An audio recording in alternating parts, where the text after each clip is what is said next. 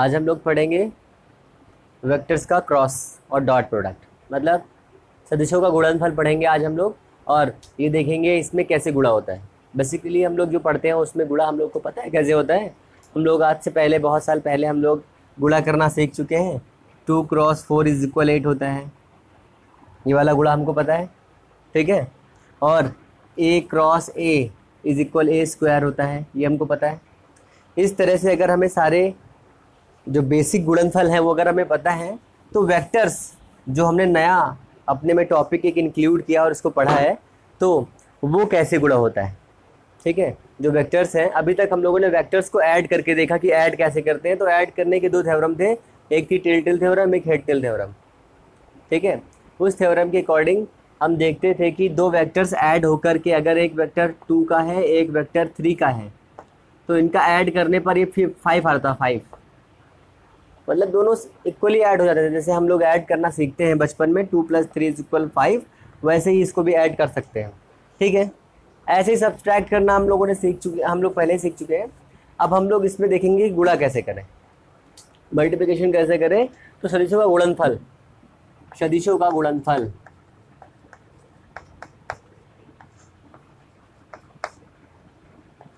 सदिशों का गुणनफल। तो हमने कोई दो सदिश ले लिए। कोई दो सदिश। हमारे पास पहला सदिश है। आप किसी भी डायरेक्शन में लेना चाहते हैं, ये देखिए पहले। हमारे पास एक सदिश है, एक ही है। इसकी डायरेक्शन है इधर। हमें गुणा करना है। तो हम गुणनफल दोनों थ्योरम से एक साथ ही पढ़ेंगे। ये पहला वेक्टर है और ये एक वेक्टर है हमारा ऐसे ले लो। ये वेक्टर है बी ये वेक्टर हमारा ए है और ये वेक्टर है बी ये स्पेस में कहीं भी थे। ये वेक्टर यहाँ पर था और ये वाला वेक्टर यहाँ पर था। इन दोनों के बीच का एंगल हमने मान लिया, थीटा है। ये एंगल थीटा हमने मान लिया। क्रॉस करने के दो तरीके होते हैं। एक आप लाइन टू लाइन क्रॉस करें, ऐसे। ठीक है? ऐसे करके जस्ट ऐसे गुड़ा कर दें। उसके बाद परपेंडिकुलर क्रॉस कर दें। दो तरीके हम सीखेंगे। तो पहला तरीका क्या है? अब हम स्केलर अगर हम निकालेंगे तो स्केलर में क्या होता है? स्केलर एक ऐसा क्रॉस होता है जैसे हम पहले एक एग्ज़ाम्पल समझते हैं एक। तुम्हें पता है कि दूरी कैसी क्वांटिटी होती है? स्केलर और वर्क कैसी क्वांटिटी होती है? स्केलर ठीक है? जबकि फोर्स कैसा होता है? वेक्टर। कार्य जो है, हमने बोला, हमने काम किया। क्या हमें डायरेक्शन बोलनी पड़ती? नहीं ना? हमने 20 जूल वर्क किया। तो या एनर्जी ये सभी कैसे फॉर्म है? स्केलर ठीक है? तो स्केलर के लिए अगर हमने वर्क किया है तो हमारे पास हमने मान लिया कि एक ये गुटका है। इस गुटके को हमने इस सरफेस पे ऐसे रखा और इस पर फोर्स लगाया लेफ़्ट साइड में। तो ये स्लिप होकर यहाँ पर आ गया। हमने इस पर कार किया। तो हमने जब इसको यहाँ से यहाँ तक डिस्प्लेस किया, इसकी विस्था, इसका, इसको यहाँ से यहाँ तक लेकर के आया तो इसने कार्य किया। ये कैसा कार्य है? अगर हम इसको ऐसे पकड़ के ऊपर उठाते, ठीक है? तो देखो हम इस पर परपेंडिकुलर वर्क कर रहे हैं। ये देखो, ये रॉड है। इस पर देख लो, ये डस्टर है हमारा। हमने इसको पकड़ा, ऐसे उठा लिया। फोर्स कैसे लगा रहे ऊपर की तरफ़। ये उठ गया। परपेंडिकुलर बट हमें स्लिप करना है। यहाँ से यहाँ डिस्प्लेस करना है ऐसे करके। तो मैं इसके फोर्स किधर लगाना पड़ेगा? इसकी लाइन में। ऐसे। अगर इसको आपको आगे बढ़ाना है तो इसको फोर्स आप कहाँ लगाएँगे? इसकी लाइन में। ऐसे एग्ज़ाम्पल समझो ट्रेन अगर ट्रेन का जो आगे का इंजन होता है, वो आगे का इंजन बीच में लग जाए तो ट्रेन उड़ने लगेगी। क्या ट्रेन आगे बढ़ पाएगी? नहीं। और अगर ट्रेन का इंजन यहाँ लगा है तो सारे के सारे डिब्बों को खींच लेता है। ये कैसा मल्टीप्लिकेशन है? स्केलर और अगर ये ट्रेन का डिब्बा ऐसे ऊपर की तरफ़ लग जाए, भगवान के पास जाना हो तो तो ये ऊपर लेके जाएगा इसको। ऊपर लेके जाएगा। ये कैसा मल्टीप्लिकेशन है? वेक्टर दोनों में डिफरेंस समझ लो पहले। छोटा सा डिफरेंस था ये। अभी मैं इसका एक और एग्जांपल बताऊँगा। फ़ैन का। ये। अब हमने क्या किया? हम इन दो में से किसी का भी फैक्टर निकाल सकते हैं। फैक्टर निकालने का मतलब क्या होता है? रेजोल्यूशन करना। तो रेजुलेशन करना हम लोग थोड़ा सा सीख लेते हैं यहाँ पे। तो रिजुलेशन क्या होता है? रिजुलेशन मीन्स कॉम्पोनेंट बनाना।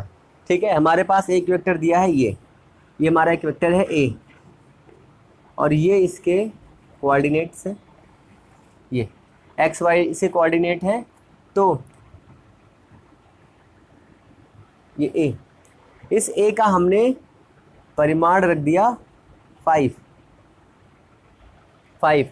ये फाइव किस डायरेक्शन में है? ये है ईस्ट वेस्ट नॉर्थ और ये साउथ ठीक है? आपसे क्वेश्चन पूछा गया कि ये एक वेक्टर इधर जा रहा था जिसका मैग्नीट्यूड फाइव है। वो किधर जा रहा है? ईस्ट और नॉर्थ में। ईस्ट नॉर्थ इसकी जो मिडिल की लाइंस होती हैं, इधर देख लो एक बार और फिर से इसको। ये जो लाइंस होती हैं, ये। ये है ईस्ट ये वेस्ट तो ये क्या बनेगा? वेस्ट ईस्ट या ईस्ट वेस्ट ठीक है? ये ईस्ट वेस्ट और सॉरी नॉर्थ है। नॉर्थ वेस्ट साउथ तो ये बनेगा हमारा पूरा पश्चिम, उत्तर, दक्षिण होता है। उसने बोला कि एक कार पूर्व उत्तर में जा रही थी, पूर्व उत्तर में जा रही थी। तो इसका मतलब क्या है?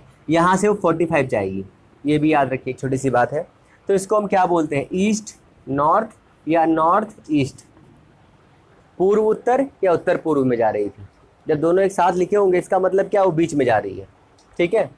ये है उत्तर और ये है दक्षिण। पश्चिम। सॉरी ये तुम्हारा हो गया एन डब्ल्यू और डब्ल्यू एन ये पश्चिम है। पश्चिम उत्तर में जा रही है या उत्तर पश्चिम में जा रही है। ठीक है? ये पश्चिम दक्षिण में जा रही है और दक्षिण पश्चिम में जा रही है। ये पूरब दक्षिण में जा रही है, दक्षिण पश्चिम में जा रही है। सही है? सही है? दक्षिण पूरब, ठीक है? ईस्ट साउथ या साउथ ईस्ट ठीक है? ये क्लियर हो गया ना? वेस्ट ओके इतना हो गया। इतना क्लियर ना? ठीक है। आपने ये क्वेश्चन तो समझ लिया।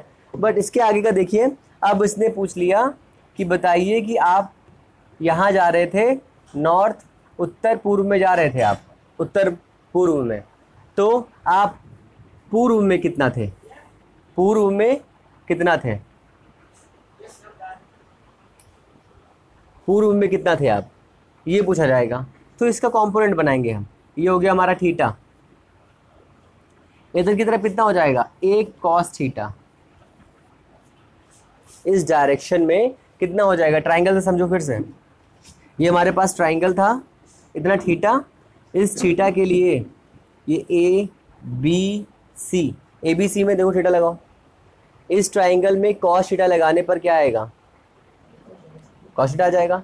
और ये कितना आ जाएगा? A sine theta. थीटा। ठीक है? तो ये कंपोनेंट वाई को रिप्रेजेंट करेगा, ये कंपोनेंट एक्स को रिप्रेजेंट करेगा। कि वो एक्स डायरेक्शन में कितनी दूर गया है? वाई में कितनी दूर गया है? ये इसका मतलब है। ये इसका रूल है। ठीक है? और इसे हम क्या कहते हैं? कॉम्पोनेंट करना। कॉम्पोनेटिंग करना। तो इसे कहते हैं वर्टिकल कॉम्पोनेंट ऊर्ध्वघटक कॉम्पोनेंट और इसे क्या कहते हैं? हॉरिजेंटल कॉम्पोनेंट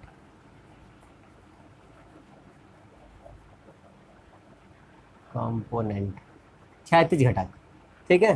ऊर्ध घटक और क्षैतिज घटक। आप ऐसे किसी का वेक्टर बना सकते हैं। ये हमने लिया, ये। ये 45 एंगल था और ये इधर जा रहा इसका नाम ने आर रख दिया। तो इस डायरेक्शन में इसका कंपोनेंट कितना हो जाएगा? आर कॉस 45 इधर आर साइन 45 ठीक है। इसको चेंज करो जरा सा, थोड़ा सा। तो इसे हमने रिसॉल्व किया। ये रिसॉल्विंग होती है। हमने ले लिया। थोड़ा समझिएगा फिर से अब। एक एग्जांपल छोटा सा है, ये थीटा है। ठीक है? तो इस डायरेक्शन में कौन सा कंपोनेंट लगेगा? इसमें कौन सा लगेगा? समझिए, जिस एंगल में थीटा होता है, उस एंगल में कॉस रहता है। अगर ये आर दिया है तो ये देखो, इस वाले बेस से बना रहा है तो ये हो जाएगा आर कॉस थीटा, और ये कितना हो जाएगा? R sine theta. ठीक है? कैसे उल्टा हो गया? टोटल नाइन्टी है ये? ये कितना बचेगा? नाइन्टी माइनस थीटा बचेगा? अब अपना रूल लगाओ फिर से, जो हमारा रूल था, वही आएगा जो हमने बताया यहाँ पर।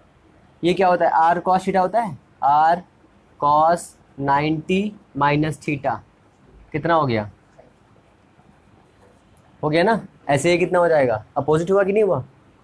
तो ये कितना हो जाएगा? R sine ninety minus theta. कितना बचेगा ये? Cos theta. क्लियर हुआ इतना? ये रिजॉल्विंग है। इसे रिजॉल्व करना कहते हैं। अब, इस ए के दो कंपोनेंट निकालो। इस दो के, इस ए या बी के किसी के कंपोनेंट निकालो। तो अगर हम बी के कंपोनेंट निकालें, ये हमारा बी है, ये बी ये इस सरफेस से थीटा एंगल पर था। आप इसके कंपोनेंट निकालिए तो कैसे निकालेंगे? इस डायरेक्शन में इसका हो जाएगा बी कॉस थीटा और जस्ट इसके परपेंडिकुलर इधर। ये कितना हो जाएगा? बी साइन थीटा ये तो कंपोनेंट है। तो हमने ये कंपोनेंट निकाला इसका। तो हमने इसका कंपोनेंट निकाला इस डायरेक्शन में। ये हमारा एक कंपोनेंट निकला इस डायरेक्शन में ये। क्या निकलेगा ये इधर? बी कॉस थीटा और इधर क्या जाएगा? ये गया बी साइन थीटा ठीक है? ये गया इतना? अब देखो जरा। ये हमने सिर्फ़ बी को रिजॉल्व किया है। अभी हम ए को भी रिजॉल्व कर सकते हैं।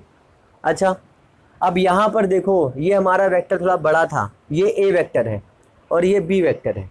दोनों एक डायरेक्शन में है, अब इसे हम क्रॉस कर सकते हैं। वेक्टर्स को क्रॉस करने के लिए हमारे पास दो रूल हैं।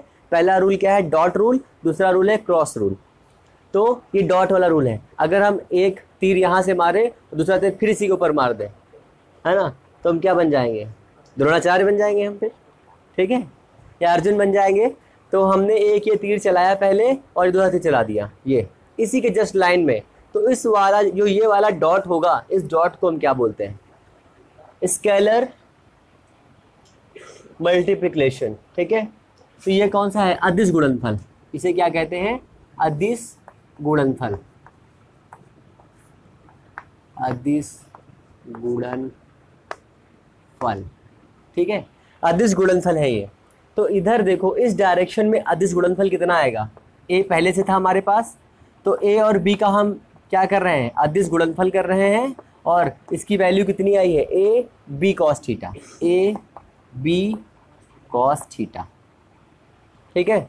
यहाँ पर ए बी जो आया है, वो क्या है? ये मॉड है इसका। परिमाण निकालना है इसका। और कॉस थीटा जो एंगल दिया हुआ है। ठीक है? ये हमने क्या किया है? हमने सिर्फ़ बी को रिसॉल्व करके ये फॉर्मूला बनाया जो हमारे पास दिया हुआ है A B is equal B cos theta क्या हम ए को रिसॉल्व करके भी एक फॉर्मूला बना सकते हैं? बिल्कुल। बनाइए। कैसे बना सकते हैं? ये हमारा फॉर्मूला आ गया। इस फॉर्मूले को आप समझ गए हैं। इसको हटा दीजिए जरा एक मिनट के लिए। अभी हमने क्या किया था? अभी हमने सिर्फ़ बी को रिसॉल्व किया था। ठीक है? ये भी हटा दीजिए यहाँ से। हमारे पास देखो इतने हैं। अब हम ए को रिसॉल्व करेंगे। एक एक कंपोनेंट बनाएँगे।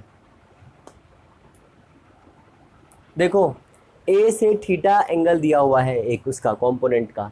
तो इसके दो कंपोनेंट बनेंगे। पहला कंपोनेंट कहाँ जाएगा? एक कंपोनेंट जाएगा इधर। ठीक है? देख लो, ये मिडिल में है। मिडिल में रिजल्टेंट होता है। थीटा के बाद में दिया है तो इधर कौन सा वेक्टर आएगा?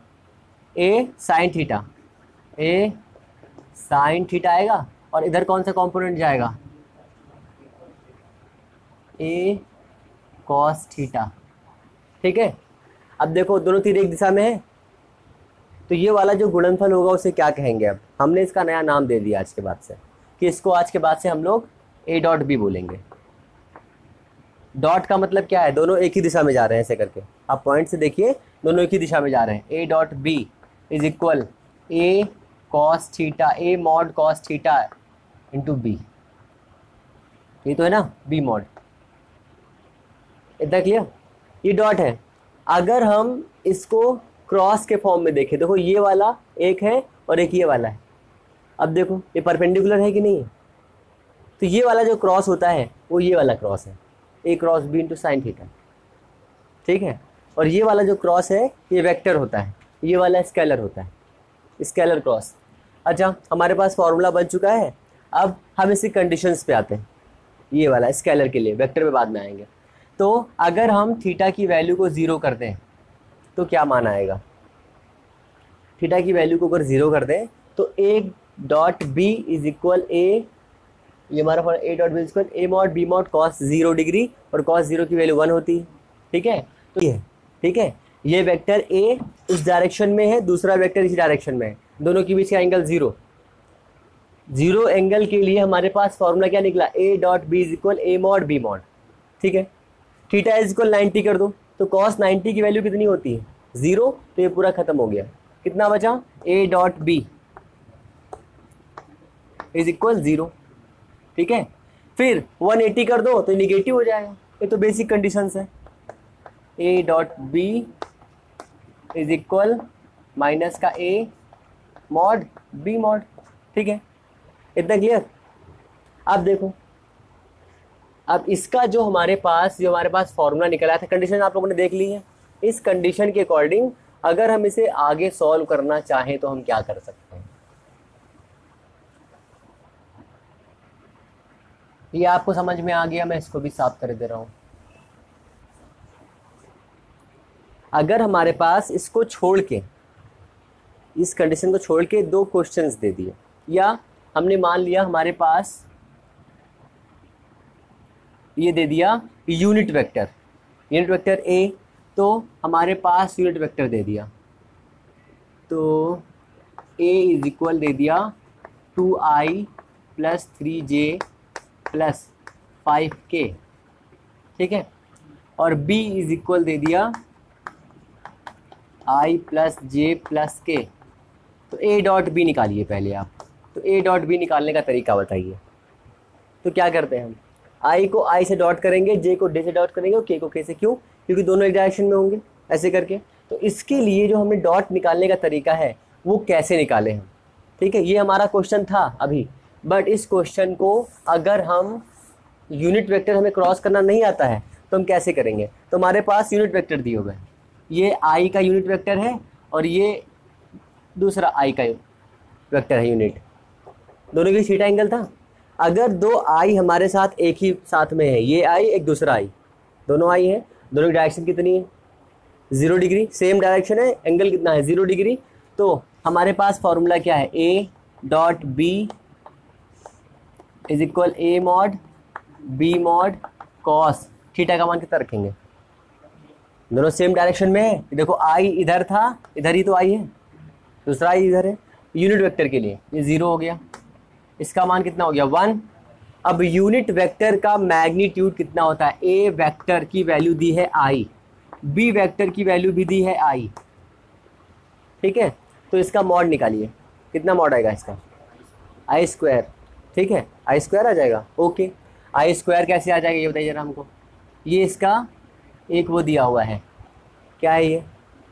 इसका गुणांक दिया हुआ है। एक एक का स्क्वायर करिए उसका रूट लगाइए। एक आएगा तो ए मॉड कितना आ जाएगा? A mod is equal one B mod is equal one दोनों वन वन आ गए। अब यहाँ पे फॉर्मूले में रखो। तो वन वन इंटू वन कितना आएगा? वन ए के बराबर कितना है? आई dot I I dot I बराबर कितना? ये कितना दिख रहा है यहाँ पे? आई स्क्वायर कैसे हो जाएगा? हम डॉट कर रहे हैं ना? आई स्क्वायर नहीं कर रहे हैं हम।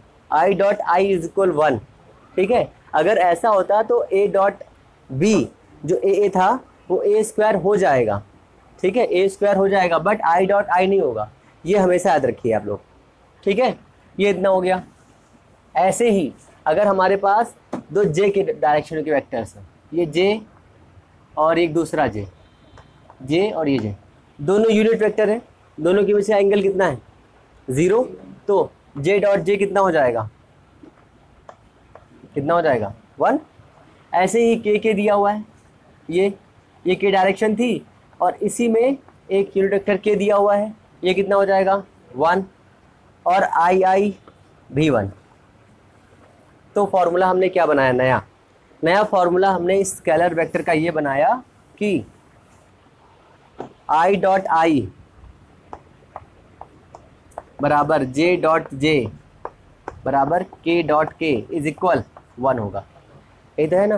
क्यों हो रहा है वन आपको पता है कि जे आई की डायरेक्शन ये है और दूसरे भी आई की डायरेक्शन यही है। दोनों के बीच का एंगल ज़ीरो डिग्री है। आई का मैग्नीट्यूड वन है और दूसरे आई का मैग्नीट्यूड वन है। तो A dot B I dot I बराबर आई डॉट आई ये दो फॉर्मूला लिख दिया मैंने। I dot I is equal one mod one mod I mod I mod into cos theta तो यहाँ पर कितना जाएगा? One into one into one cos zero की वैल्यू वन तो इसकी वैल्यू कितनी आ जाएगी? वन ठीक है? तो ये हमारा इतना हो गया। दूसरा आ जाओ। अगर आई डॉट जे करें। आई जे आई डॉट जे किया हमने। तो आई डॉट जे दोनों के बीच एंगल कितना है? एंगल कितना दोनों के बीच का? 90 है ना? तो आई का मोड कितना होता है? वन इंटू जे का मॉड वन कॉस नाइन्टी की वैल्यू ज़ीरो तो ये ज़ीरो तो आई डॉट जे बराबर कितना हो जाएगा? अब देखो, ये हो गया। अब ये हमारा, ये एंगल भी 90 है और ये एंगल भी 90 है। ये के है। आई जे के बीच का एंगल 90 इसलिए ज़ीरो जे और के के बीच का एंगल 90 इसलिए J dot K is equal zero और K dot I is equal zero ठीक है? इतना क्लियर अब आई डॉट जे बराबर ज़ीरो है, इसलिए जे डॉट आई बराबर भी ज़ीरो होगा। J dot I is equal zero क्योंकि इसमें डायरेक्शन तो होती नहीं है तो I dot J is equal zero J dot I is equal zero ये सारे क्या बनेंगे? ज़ीरो ठीक है? इतना क्लियर हो गया ना? अब इसका एक छोटा सा एग्ज़ाम्पल देख लो। ए इज़ इक्वल दिया है two I J plus K B is equal दिया है आई प्लस जे प्लस के ए डॉट बी बताइए कैसे निकालेंगे आप? तो ए डॉट बी सिंपल तरीका निकालने का क्या है? आई को आई से क्रॉस करो। कितना हो जाएगा? आई डॉट आई कितना होता है? One two I plus J plus K I plus J plus के इतना हो गया? पहले हमारा जो बेसिक रूल है, जिसपे हम जैसे गुणा करते हैं X plus Y plus Z X plus Y से क्रॉस करते तो पहले एक्स से पूरे में क्रॉस करते, फिर वाई से पूरे में क्रॉस करते। ये रूल है ना हमारा? तो इस रूल को छोड़ के हम अपना पहले वाला रूल लगाते हैं। हमने टू आई से पूरे में क्रॉस किया तो two I into I two I into I ये कितना बनाएगा? वन फिर से आ जाओ। Two I into J, zero, plus का टू आई इंटू जे, ये क्या बनेगा? प्लस टू आई इंटू के, क्या बनेगा? ज़ीरो। तो ये सारे ज़ीरो हो गए? ये ज़ीरो। अब इससे आ जाओ। J into I, zero. फिर जे इंटू जे, वन। फिर जे इंटू के, ज़ीरो। फिर के से आ जाओ K into I plus K into J K dot K ये वन आया ना? ये वन बाकी तो सब ज़ीरो है। तो हम इसका शॉर्ट फॉर्म क्या निकालते हैं? शॉर्ट फॉर्म ये निकालते हैं कि अगर हमें ए डॉट बी निकालना है तो हम क्या करेंगे? आई आई जे जे के के कर देंगे। Two plus one plus one कितना आ गया? फोर ठीक है? फोर। और अगर हमें ए मॉड निकालना तो आपको पता है A mod is equal two square plus one square plus one square ऐसे बी मॉड निकालेंगे। एंगल अगर निकालना हुआ तो हमने मान लिया ये आ गया हमारा चार, दो, पाँच रूट में। ऐसे बी इज़ इक्वल आ गया बी मॉड इज़ इक्वल आ गया रूट टू मान लो। रूट थ्री आएगा सॉरी तो A dot B is equal कितना हो गया? A mod B mod cos theta इसकी वैल्यू कितनी आई है? फोर ये root five root two into cos theta तो कॉस थीटा इज़ इक्वल कितना आएगा? फोर बाई रूट टेन ये एंगल की वैल्यू हो गई। और सॉरी सिक्स आ जाएगा। ये सिक्स आ गया। ये ट्वेल्व हो जाएगा। ठीक है? बस। ऐसे करके हम ए डॉट बी निकालते हैं। ए क्रॉस बी पे आ जाओ। तो ए क्रॉस बी निकालने के लिए आपके पास क्या होना चाहिए? ए हम पहले पढ़ चुके हैं।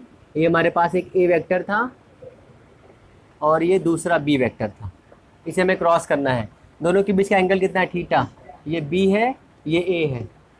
तो ए का हमने कंपोनेंट निकाला। एक कॉम्पोनेंट इस डायरेक्शन में जाएगा, दूसरा इस डायरेक्शन में जाएगा। इसका नाम क्या रखेंगे? ए साइन थीटा ठीक है? अब इसको इसको क्रॉस करेंगे तो हमें क्या मिलेगा? एक, दूसरा वेक्टर जिसकी डायरेक्शन किधर होगी? इधर। ठीक है? ये हो गया। अगर हम बी के कंपोनेंट बनाते हैं।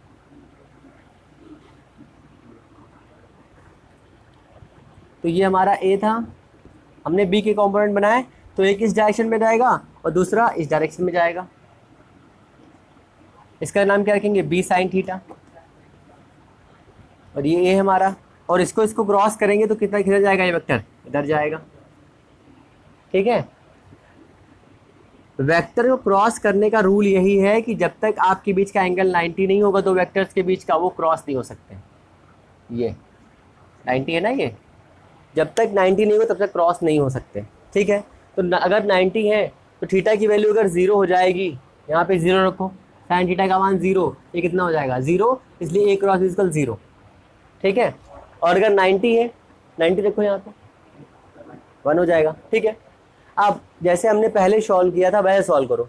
आई डॉट जो था हमारा आई डॉट जो आई था, उसको इस फॉर्मूले में अप्लाई करो। आई इधर लगता है और दूसरा आई भी इधर लगता है। दोनों के बीच का एंगल कितना हो गया? ज़ीरो हुआ। तो साइन में मान रखो इसका। हमारे पास एक वेक्टर है A is equal I B is equal I दोनों बीच का एंगल थीटा है और थीटा का मान ज़ीरो है। यहाँ ज़ीरो रखेंगे, पूरा वेक्टर ज़ीरो हो गया। तो आई डॉट आई जो पढ़ते थे, हम कर क्या रहे क्रॉस तो इसलिए इसका नाम क्या रखा? I cross I is equal zero I cross I is equal zero ठीक है? उल्टा हो गया जस्ट उसका। फिर ऐसे ही जे क्रॉस जे के क्रॉस के बराबर क्या आ जाएगा? ज़ीरो ज़ीरो बट इसी वेक्टर को अगर हम इस क्रॉस में लगाते हैं, इस क्रॉस में आई क्रॉस जे तो हमारे पास आई ये था जे ये था। आई और जे। ये देखो, आई इधर जा रहा है, जे इधर जा रहा है। दोनों के बीच का एंगल कितना है? 90 90 देखो यहाँ पर तो ए क्रॉस भी मिलेगा हमको। तो ए क्रॉस बी की एक वैल्यू होती है, जो वैल्यू जाती है इधर बट वो डायरेक्शन किधर लेके आएगा? इधर। इसलिए क्या बनाएगा? के जैसे हम लोग वो पढ़ रहे थे, आप ये रूल पढ़ लीजिए। हमारे पास एक सरफेस दी है। ये क्या है? आई इधर ऊपर की तरफ़ हमने जे लिया है तो ये जे हो गया। आई और जे, अब ये कहाँ जा रहा है? बाहर तरफ़ आ रहा है? तो ये जो बाहर डायरेक्शन है वो क्या है? के ठीक है? मीन्स एक अगर सर्किल है, इस सर्किल की रेडियस आर है। इस सर्किल की रेडियस आर है और इस सर्किल की हमने फ़ैन मान लिया। फ़ैन फ़ैन है ये हमारे पास, इसके पास तीन पर हैं ये। एक, दो और तीसरा पर। ये है। ठीक है? ये इसके फ़ैन की डायरेक्शन है, इधर की तरफ़। और ये ऐसे घूम रहा है। इसकी हवा किधर लगेगी? कैसे बनाएँगे आप? ये इसकी रेडियस है, ये इसकी रेडियस है, ये इसकी रेडियस है। अपने हमने राइट हैंड अपना लिया और अपने राइट हैंड को किसी एक रेडियस पर सेट कर दिया ऐसे करके। और इसको ऐसे मोड़ दिया। अब बताओ कहाँ आवाज़ आएगी? बाहर। ठीक है?